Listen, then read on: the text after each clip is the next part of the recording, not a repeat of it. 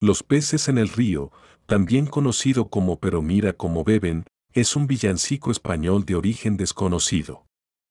Comenzó a popularizarse en países de habla hispana a principios del siglo XX.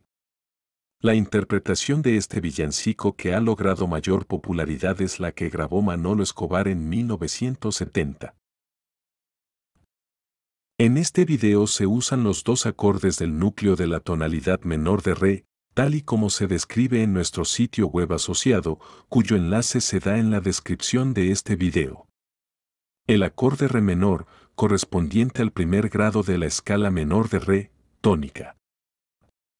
El acorde La séptima, correspondiente al quinto grado de la escala menor de Re, dominante. Para el acompañamiento se propone un ritmo de 2x4 muy sencillo, en el cual cada uno de los tiempos se ha dividido en corcheas. El rasgueo se ejecuta alternando golpes hacia abajo y hacia arriba.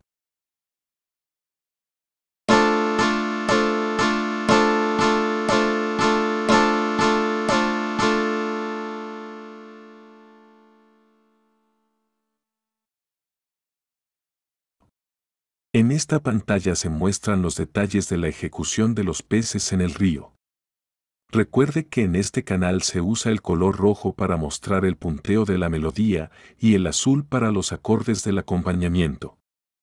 Para más detalles ver el video que describe la forma de estudiar melodías en este canal, cuyo enlace se da en la descripción.